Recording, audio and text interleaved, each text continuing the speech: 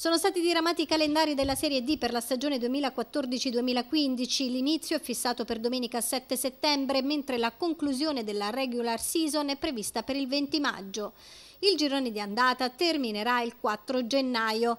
Le due cilentane presenti al campionato, Gelbison e Agropoli, come è noto, sono inserite in due raggruppamenti diversi. Il girone H per i rossoblù di Vallo della Lucania, il cui esordio avverrà in casa al Morra contro una delle favorite alla vittoria finale, il blasonato Taranto. Il girone I per l'Agropoli, che debutterà ugualmente tra le mura di casa e al Guariglia ospiterà gli isolani dell'Acagras. Se andiamo più nello specifico, la Gelbison nella seconda giornata se la vedrà in trasferta con la neopromossa Potenza, altra nobile decaduta, per poi affrontare il primo impegno con una corregionale, l'Inter Napoli. A seguire due pugliesi, Manfredonia fuori e San Severo in casa. Alla sesta, il 12 ottobre, il derby salernitano con la Cavese in programma a Lamberti. La squadra di Logarzo chiuderà l'anno al Morra il 21 dicembre ospitando il Grottaglie.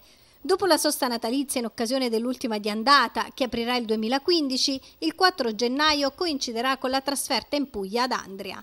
L'Agropoli, come detto, inizierà in casa con gli agrigentini dell'Acagras che hanno sperato nel ripescaggio in Lega Pro e sembrano attrezzati alla pari dell'Agropoli per il grande salto. Alla seconda, altra isolana, la neopromossa Leo Fortese. Alla terza in casa arriva il Sorrento del Pampa Sosa, ancora un'avversaria sicula alla quarta, altra matricola il Due Torri, poi è la volta del Neapolis. Alla sesta il derbissimo con la Battipaiese di Squillante. Come i cugini vallesi, anche l'Agropoli termina l'anno solare sul campo amico, ospitando il comprensorio Montalto, mentre la prima del 2015 vedrà i Delfini impegnati a Noto. Sono previste due soste il 28 dicembre e il 1 febbraio in occasione del torneo di Viareggio. La Coppa Italia invece partirà il 24 agosto con il turno preliminare. Agropoli e Gelbison entrano in gioco il 31 agosto con il primo turno.